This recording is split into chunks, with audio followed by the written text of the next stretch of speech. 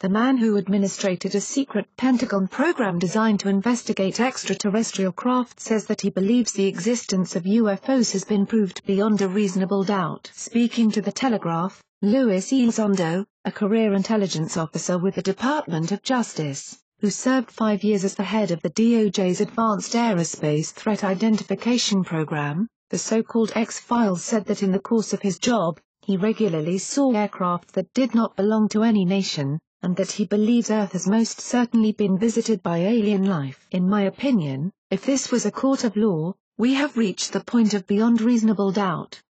Elizondo told the British magazine I hate to use the term UFO but that's what we're looking at, he added, noting that the term UFO refers to any unidentified flying object of which alien spacecraft is only one of many possibilities. I think it's pretty clear this is not us, and it's not anyone else so no one has to ask questions where they're from. He does claim that, for the most part, the alien spacecraft he studied were friendly. There was never any display of hostility, but the way they maneuvered, in ways no one else in the world had, you have to be conscious something could happen, Elizondo said. The AATIP, the brainchild of Sen Harry Reid, shuttered in 2012, but not before interviewing hundreds of people, mostly members of the military, who interacted with unidentified aircraft. After his official tenure, Elizondo says he continued to work on the issue for five more years, finally giving up in 2017, after learning that it was unlikely the AATIP would ever be refunded. The most detailed reports,